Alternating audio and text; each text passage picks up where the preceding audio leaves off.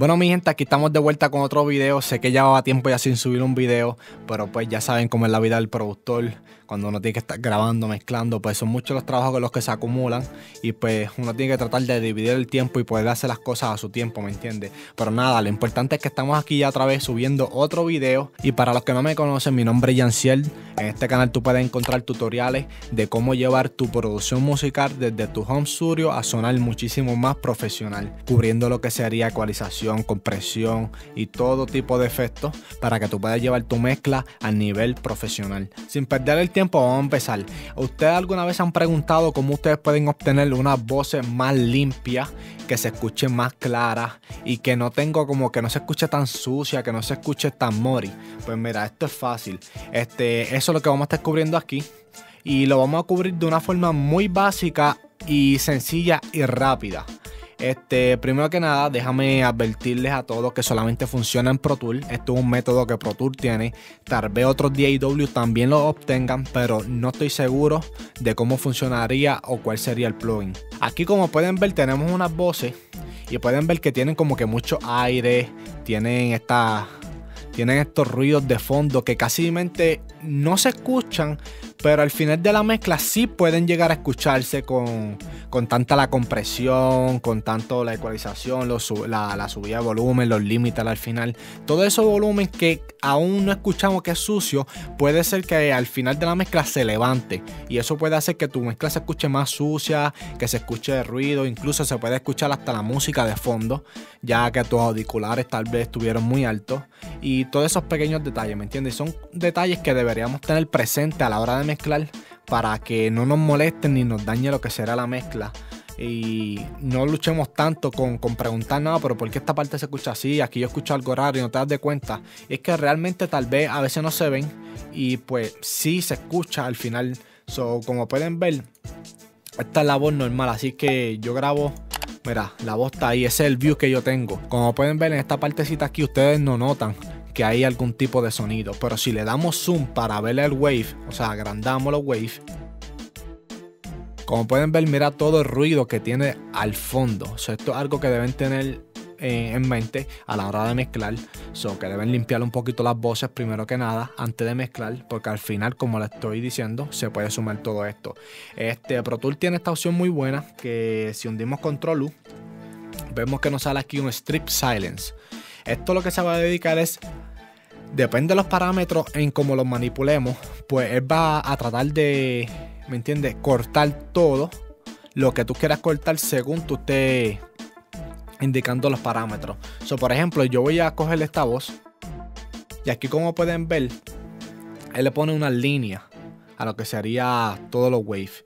So, todo lo que esté dentro de la línea es lo que tú vas a salvar todo lo que esté dentro de la línea es lo que tú vas a salvar.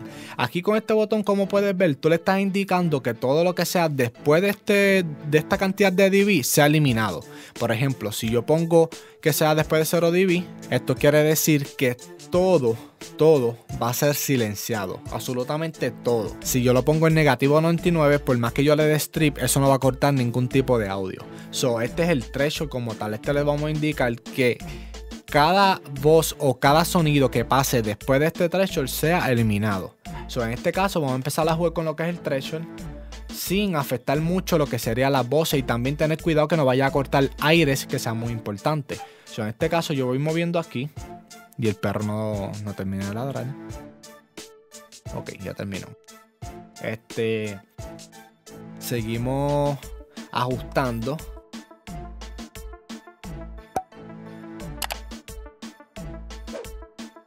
Seguimos ajustando hasta que veamos algo justo. Ahí me parece que esto está bastante bien. Ahora, con este que está aquí, vamos a manipular qué tan específico queremos que sea en cada espacio. Por ejemplo, si lo ponemos así, te vas a dar de cuenta que no está entrando en detalle. Si le vamos quitando la cantidad de milisegundos, tú puedes ver que crea muchísimos más cuadritos porque está entrando a muchísimos más detalles dentro de cada cuadrito o cada espacio que tenga la voz yo no quiero que esté tanto a detalle. A, mí me parece que ahí está bastante bien. Entonces vamos a seguir al próximo que sería al start. Esto quiere decirles desde cuándo tú quieres cualquier corte. Obviamente no les recomiendo que lo dejen así porque puede ser que está afectando la voz como tal que está utilizando de principal. So, yo tú lo movería a lo que serían unos milisegundos, muy poco, para que solamente le dé, me entiende, ese espacio y la voz entre bastante smooth y no entre como que tan de cantazo ahí. So, esto más o menos lo pueden tomar como si fuera un ataque. Si lo ponen aquí, él va a atacar muy rápido. Si lo ponen acá, ¿me entiende, Ya le estás dando un poquito de espacio para que no ataque ese primer transiente de la voz tan rápido.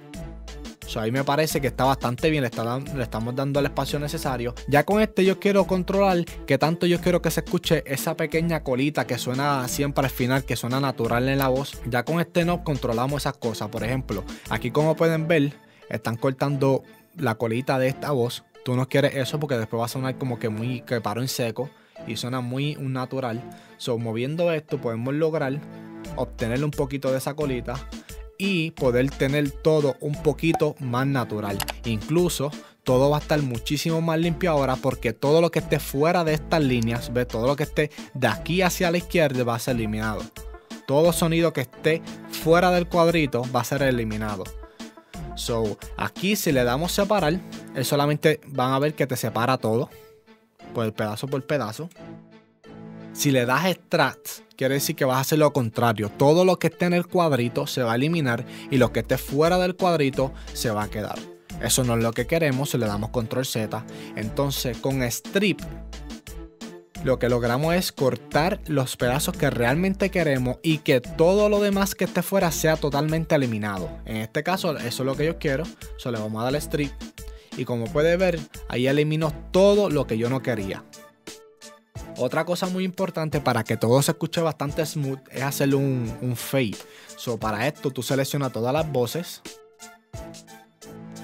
le das control F, te abre esta pantalla, ya como pueden ver aquí ya está indicado, esto viene por default, que es 10 milisegundos. Tal vez si tú estás en Pro Tools 10, creo que te va a abrir un poco diferente, pero es el mismo, el mismo proceso.